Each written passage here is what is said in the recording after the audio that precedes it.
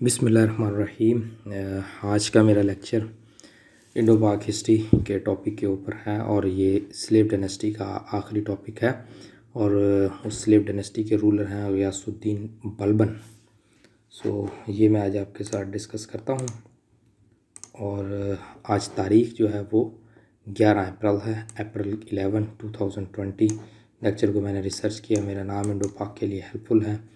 اور biography of Ghiyas الدین بلبن اس کو ہم شیئر کرتے ہیں آپ کے ساتھ۔ تو سب سے پہلے تو میں آپ کو تھوڑا سا غیاس الدین بلبن کے بارے میں بتا دوں، اس پرسنالٹی کے بارے میں۔ پھر ہم اس کو باری باری جو ہے وہ چیزوں کو آگے دیکھیں گے۔ تو ان کا جو اصل ریئل نیم تھا بلبن کا، وہ تھا بہاؤدین۔ اور یہ ترک ریس سے ان کا تعلق تھا۔ اور یہ ہائیسٹ ایڈمنسٹریٹو کوالٹی رکھتے تھے اور انہوں نے رول کیا تھا ہارشلی رول کیا تھا اور سلطان التتمش نے ان کو پرچیز کیا تھا as a slave in twelve thirty three اور سون یعنی کہ بہت جلدی، انہوں نے سلطان کے دل میں اپنی جگہ بنائی، اپنی گاڈ گفٹڈ کیلٹیز کے ساتھ اور اس کے بعد انہوں نے ایک ٹائٹل اڈاپٹ کیا تھا، اس ٹائٹل کا نام تھا غیاس الدین سو ان کا اصل نام جو ہے وہ بہاؤدین تھا اور ان کا جو ٹائٹل تھا وہ غیاس الدین تھا۔ سو انہوں نے پھر جو تخت سنبھالا تھا وہ بارہ سو چھیاسٹھ میں سنبھالا تھا تخت۔ اور تخت سنبھالنے کے بعد جو سب سے پہلا کام انہوں نے کیا تھا، وہ جو فورٹی چیفز تھے، جو وقتاً فوقتاً پریشانی کر رہے تھے، جنہوں نے رضیہ سلطانہ کی سلطنت کو ختم کیا تھا اور اس کے بعد پھر سلطان ناصر الدین کی سلطنت کو پرابلم میں ڈالا تھا۔ انہوں نے سب سے پہلے آتے ہی ان کا کام کیا تھا، ختم کیا تھا اس کو۔ سو پہلا پوائنٹ یہ ہے کہ ہم دیکھتے ہیں کہ انویژن آف منگول کی کیا سچویشن تھی۔ سلطان نے سب سے پہلے بارہ سو چھیاسٹھ میں جو آتے ہی کام کیا تھا وہ یہ کیا تھا کہ انہوں نے اپنی آرمی کو اسٹرینتھن کیا تھا، پھر یہ وار کی طرف گئے۔ تو سلطان غیاس الدین بلبن کو جو کانسٹنٹ ٹربل ہو رہی تھی، وہ سندھ میں ہو رہی تھی، پنجاب میں ہو رہی تھی، وہ منگول کی طرف سے ہو رہی تھی، جو کہ وہ سب کانٹیننٹ میں لیفٹ کر گئے تھے۔ پھر بارہ سو اکتالیس میں جس وقت منگولوں نے لاہور کو کیپچر کیا تھا، پھر اس کو ریون کر دیا تھا، پھر اور اس کے علاوہ پھر انہوں نے سندھ کا کچھ حصہ خراب کیا تھا اٹیک کر کے، اس سے پھر وہ اسٹرینتھن ہوئے تھے۔ لیکن پھر آگے چل کر بارہ سو ستاون کے اندر یہی منگول کھڑے ہو گئے تھے دوبارہ ملتان کی طرف مارچ کرنے کے لیے۔ لیکن جس وقت ان کو پتہ چلا کہ سلطان کی آرمی آ رہی ہے تو وہ وہاں سے ریٹریٹ کر گئے تھے پسپائی اختیار کر گئے تھے۔ یہ اس وقت سلطان ناصر الدین ٹینیور کی بات ہے، جس وقت یہ بارہ سو ستاون میں ان کے خلاف کھڑے ہوئے تھے۔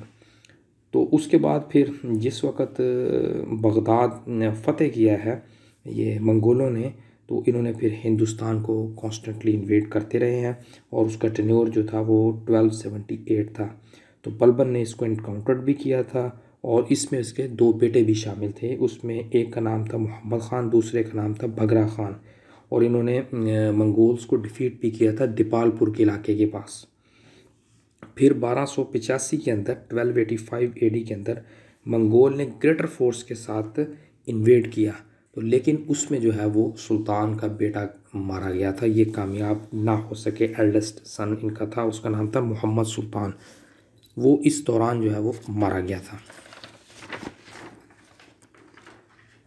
اس کے علاوہ اب ہم آتے ہیں کہ پہلا، دوسرا پوائنٹ اب ہمارا ہے کہ جی set up strong forts Sultan نے سب سے پہلے اپنی آرمی کو، میں نے جب آپ کو بتایا کہ منگول کی انویژن کے دور سے ہی بارہ سو چھیاسٹھ میں اور اس سے پہلے بھی جب ان کو مکمل ٹنیور ملا ہے تو بارہ سو چھیاسٹھ میں ملا، لیکن اس سے پہلے بھی انہی کے ہاتھ میں ہی پاور تھی۔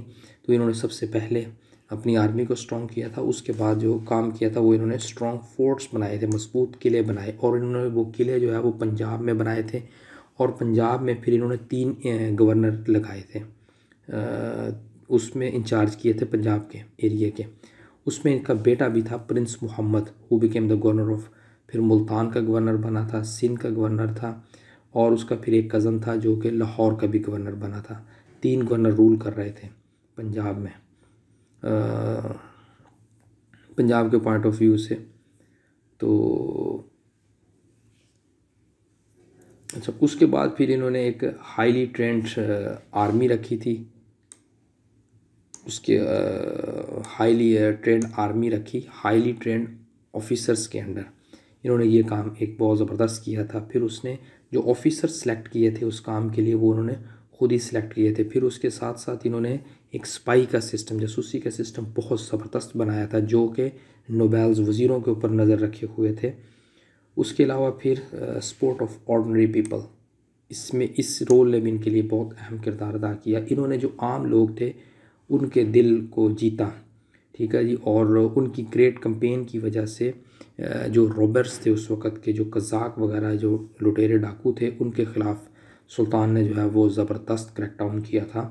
اور جو اس کی سلطنت کو نقصان پہنچا رہے تھے، اس نے سلطان نے ان کے کیمپس کو تباہ کیا اور وہ جنگلات کو کٹوا دیا تھا جہاں پر وہ ہائڈ کرتے تھے۔ ٹھیک ہے جی اور وہاں پر اس نے جو ہے وہ پولیس چوکیز بنوائی تھی۔ اس کے علاوہ پھر سلطان جو ہے وہ انٹرسٹڈ تھا ان پیسفل کنگڈم کے اندر۔ اچھا جی اس پیسفل کنگڈم میں سلطان چاہتا تھا کہ اس کی سلطنت جو ہے وہ مزید ڈس انٹیگریشن کی طرف نہ جائے، وہ مزید وارز کی طرف حصہ نہ لے۔ ملک کے اندر جو ہے وہ امن رہے اور مزید لینڈ کو وہ نہ فتح کرے۔ اس کے علاوہ پھر اس نے ایک اسٹرکٹ آئی رکھی تھی نوبیلز کے اوپر۔ اس میں یہ تھا کہ نوبلز بھی اب سیف نہیں تھے۔ وہ کسی قسم کی کوئی انفیئر ڈیل کرتے تھے۔ عام لوگوں کے ساتھ تو سلطان ان کو جو ہے وہ پنش کرتا تھا سول سرونٹس کو۔ اس کے علاوہ پھر اس نے ریبیلینس کو پنش کیا تھا۔ اور یہ چاہتا تھا کہ یہ جو ریبیلینس کو ہیویلی پنش کیا تھا ہیویلی ریبیلینس کو، اور سلطان چاہتا تھا کہ اس کی جو گورنمنٹ ہے، اس کا جو خوف ہے، وہ لوگوں کے دل میں بیٹھا رہے تاکہ جو ہے وہ کسی، کوئی کسی قسم کی بغاوت کی نہ سوچے۔ اس کے علاوہ پھر ہی مینٹین دا کورٹ سلطان نے جو ہے وہ بہت زیادہ کیئر کی تھی کورٹ کے مینرزمس کی۔ اس کے علاوہ پھر he maintain the grandeur of his courts اس کے بعد یہ جو لاسٹ پوائنٹ ہے سلائڈ کا he brought feudal system to an end یہ لاسٹ پوائنٹ اس نے جاگیردارانہ نظام کا خاتمہ کیا، اس کے علاوہ پھر سلطان نے یہ بھی کہا کہ جو ریاست کے جو معاملات ہیں، اس کے اندر جو ہے وہ امن ہونا چاہیے اور سلطان نے اس کو امن قائم بھی کیا پیس اینڈ آرڈر کو قائم بھی کیا مزید انویژن نہیں کیے سلطان نے اور سلطان کے اس پیریڈ کو پیس اینڈ آرڈر کا پیریڈ بھی کہا جاتا ہے۔ اس کے علاوہ پھر اب ہے پالیسی اس کی جو سلطان نے آبسٹرکٹ کی تھی منگولز کے خلاف۔ بارہ سو چھیاسٹھ سے بارہ سو ستاسی تک کے اسٹنیور کے اندر سلطان نے جو پالیسی بنائی تھی منگولز کے لیے وہ کیا تھی؟ تو سب سے پہلی پالیسی تھی یہ تھی he change the policy of going far far far off areas دور دراز علاقوں میں جو ملٹری ایکسپیڈیشن کے لیے سلطان جایا کرتا تھا، وہ سلطان نے بند کر دیا تھا۔ He spend most of his time in the capital to encounter the Mongols تاکہ وہ اپنی uh, کیپٹل کے اندر رہے جا کے ہی جیسے ہی کوئی باہر سے آئے، وہ فوری اس کو رسپانس کر سکے۔ یہ نہ ہو کہ سلطان جو ہے وہ کسی دوسری جگہ مہم پر اور پھر آ کر اس کی سلطنت پہ کو اٹھا کر تو اس نے پھر جو دور دراز کی مہمات کو ختم کیا۔ دوسرا کام اس نے یہ لوائلٹی والا کیا تھا۔ جو ٹرائبس تھے فرنٹیئر ٹرائبس اس نے ان کو لوائلٹی کی یقین دہانی دلائی۔ اس میں اسپیشلی جو کھوکھرس ٹرائبس تھے، ان کو اس نے دلائی۔ تو اس وجہ سے منگول جو ہے، وہ could not get opportunity to enters India silently جو خاموشی سے داخل ہونے والا کام تھا، وہ وہ نہیں کر سکے۔ پھر اس کے بعد جو دوسرا کام تھا، سلطان نے وہ ریکگنائز کیا ری آرگنائز کیا آرمی کو دوبارہ صف بندی کی اور ان کو ماڈرن ویپنس کے ساتھ لیس کیا۔ اس کے علاوہ پھر سلطان نے جو ہے وہ نئے فورٹس بنائے made number of new forts in the frontier اور پھر اسٹیشن آرٹ ٹروپس کیے وہاں پر۔ ٹھیک ہے جی؟ اچھا اس کے ساتھ پھر اس کے ساتھ یہ ہوا تھا کہ جو منگولس تھے، ان کو ان جو نئے فورٹس کی جو سیریز بنائی تھی، وہ ان کے منگولس کو پھر اس کے ساتھ جو ہے وہ مزاحمت کرنی پڑی۔ جو وہ اگر ایک جگہ سے دوسری جگہ آتے تھے، پھر جگہ جگہ قلعے بنے ہوئے تھے، پھر وہاں پر فورسز تھی۔ اس وجہ سے پھر منگولس کو مزاحمت کرنی پڑی۔ یہ سلطان کی ایک بہت بڑی اچیومنٹ تھی اس معاملے میں۔ اس کے علاوہ پھر انہوں نے اپوائنٹڈ کیے تھے ایبل چیف اینڈ گورنرس سلطان نے کمپیٹنٹ سردار اور گورنرس کو گورنر جنرلس یا گورنرس لوگوں کو لگایا فرنٹیئر کو ڈیفینڈ کرنے کے لیے۔ تو اس پالیسی کی وجہ سے منگولز کا مکمل طور پر یہاں پر خاتمہ ہو گیا تھا۔ تو سلطان کی وفات جو ہے وہ بارہ سو ستاسی کے اندر ہوئی تھی۔ تو یہ اب دو تین سال کا ٹنیور ہے، یہ میں آپ کے ساتھ چھوٹا سا ایسے ڈسکس کر لیتا ہوں، جہاں پر سلطان کی وفات کے بعد کیسے سلیب ڈائنسٹی کا اختتام ہوا ہے۔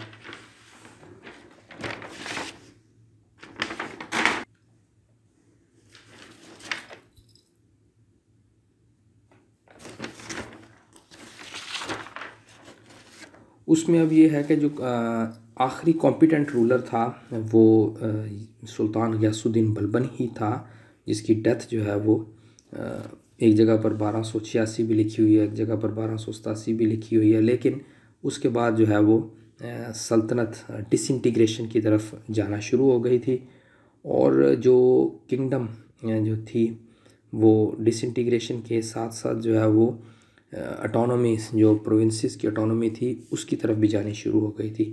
جو دلی کے کوتوال تھے، انہوں نے غیاس الدین بلبن کی جو ول تھی کہ میرے بعد یہ بنے گا، اس کو انہوں نے اگنور کر دیا تھا۔ تو اس کے بعد پھر بھگرا خان کا ایک بیٹا تھا، اس کا نام تھا کیک بات تو انہوں نے پھر تخت کو سنبھالا تھا اور یہ ینگ مین جو ہے، وہ ان اویئر تھا رولنگ ٹیکنیک کے ساتھ۔ تو پھر ویری سون یہ بہت جلد یہ بھی میری میکنگ کے اندر پڑ گیا اور اس نے جو ہے، سلطنت ہینڈ اوور کر دی تھی پرنس منسٹر نظام الدین کے۔ ہینڈ اوور کی تھی۔ تو جب بھگرا خان دلی آیا تھا twelve eighty eight A D کے اندر، اس نے اپنے بیٹے کو کہا کہ وہ نظام الدین کو ڈسپس کر دے۔ تو کیک بابا نے اسی طرح ہی کیا، اس کو ڈسمس کر دیا۔ تو پھر بارہ سو نوے کے اندر سلطنت جو ہے وہ بالکل مکمل اختتام کی طرف ہوگی۔ اور اسی دوران کے اندر کیک بات جو کیک بات تھا، ان کا اصل نام تھا سلطان معیز الدین کیک بات تو اس نے جو ہے وہ ایک بیماری، اس کو سوری ایک بیماری لاحق ہو گئی تھی، اس کو کہتے ہیں پیرالائسس اسٹروک کا۔ تو اس نے پھر تین جو ہے وہ سال حکومت کی تھی، جو پھر دلی کے چیف تھے۔ تو انہوں نے ایک، ان کا بیٹا تھا کیک بات کا سوری کیک بات کا۔ تین سالہ بیٹا تھا، اس کو تخت پر بٹایا تھا۔ تو کنگڈم جو ہے وہ پھر دوبارہ اسٹیبلٹی گین نہیں کر سکا۔ تو پھر اس کے بعد جلال الدین خلجی تھے۔ انہوں نے تخت کو آکوپائی کیا تھا ٹویلو نائنٹی کے اندر میں اور پھر اس کے بعد انہوں نے خلجی ڈائنسٹی کی بنیاد رکھی تھی تو سلیب ڈائنسٹی کا اختتام ہو گیا تھا۔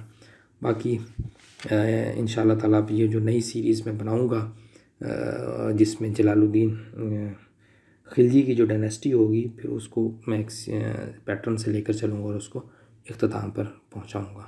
لیکچر کو سننے کے لیے شکریہ تھینک یو